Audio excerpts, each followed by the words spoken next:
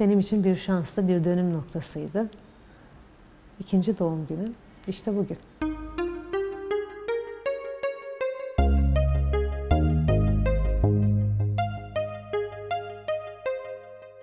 Ee, hepimizi yaptığımız işlerde motive eden en önemli şey tabii bu uygulamaların sonuçlarını görebilmektir.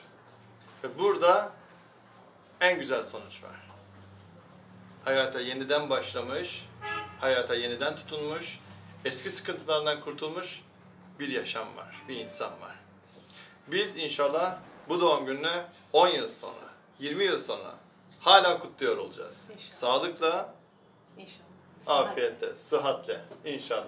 Hadi bakalım nice mutlu yıllara. Sağ olun. Sayenizde hocam. Alper Hoca ve ekibi hastalarına çok sahip çıkan, hastalarını birebir tanıyan, isimleriyle bilen, benim ses tonumdan bile Gülsüm Hanım benim olduğumu hemen anlıyor. Yani artık öyle olduk. Biz bir aile olduk. Ben öyle diyorum. Biz bir aile olduk. Evet hadi bakalım. Evet, doktorcuğum, bir dilek birlikte. tutun. Birlikte mi? Peki. Hep birlikte inşallah nice nice yıl dönümleri. İnşallah, inşallah. Hep beraber, bir arada.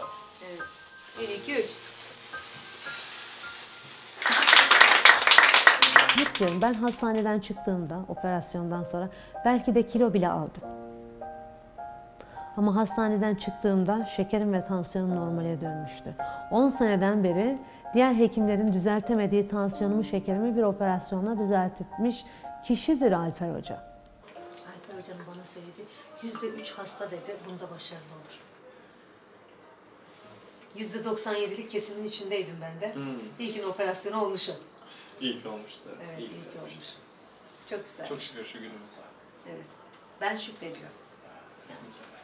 İkinci ömrümü bana bahşedin Ömrah. Teşekkür ederim. Estağfurullah, estağfurullah. Teşekkür Sağ olun. Hep beraber inşallah. Ellerine sağlık. Dert görmesin Sağ inşallah. olun. Operasyon sayesinde nefrotik sendromdan çıktım. Yani akıbetimi görebiliyordum kendim de sağlıkçı olduğum için.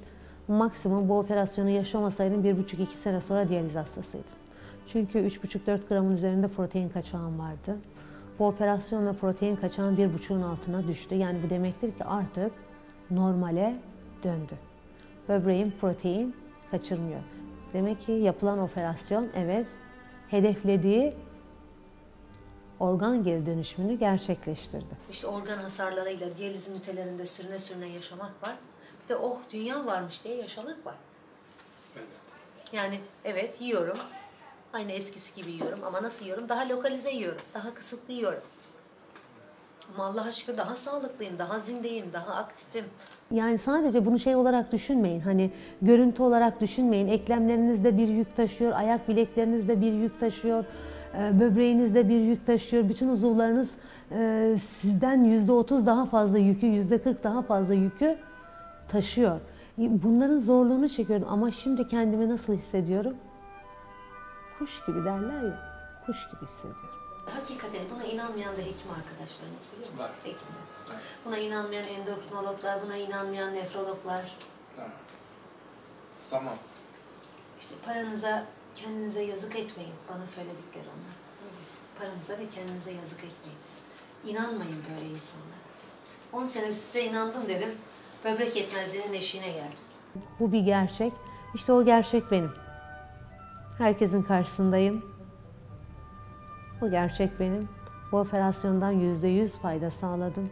İnsan hayatında yüzde yüz diye bir şey yoktur ama yüzde yüz ben bunun bana geri dönüşümünü görüyorum. İnsülin kullanan bir hastanın o Hali insülin, nicedir? Bana sorun. Hali nicedir hocam? karaciğer hasarının ne kadarından insülin sorumlu? Böbrek hasarının ne kadarından metformin sorumlu? Bunların cevabını bilmiyoruz. Ama bu ilaçları biz hastalara vermeye devam ediyoruz. En iyi ilaçlar diye. 2 diyabetseniz ve bu operasyonu olmaya elverişliyseniz neden olmayasınız? Şekerle yaşamak şeker gibi bir şey değil. Bunu kesinlikle unutmasınlar. Bunun bir çaresi var ve çaresi de burada. İnşallah benim gibi niyetli olanlar kesinlikle bu şeyini bozmasınlar, gelsinler ve bu operasyonu gönül rahatlığıyla olsunlar.